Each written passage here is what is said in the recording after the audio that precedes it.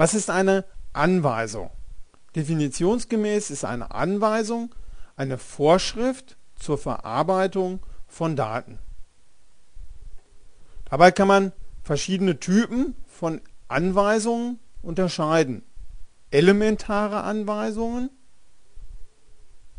also beispielsweise war das ja im Hamstermodell die Grundbefehle vor, links, um, nimm und gib. Zusammengesetzte Anweisungen. Das heißt beispielsweise Blockanweisungen. Oder auch Anweisungen zur Ablaufsteuerung, Kontrollstrukturen wie die if-Anweisung oder die while-Anweisung.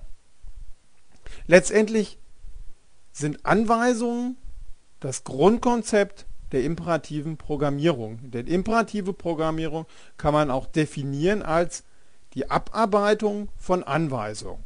Im Allgemeinen sequenziell oder über Kontrollstrukturen, Kontrollstrukturen gesteuert halt in einer bestimmten Reihenfolge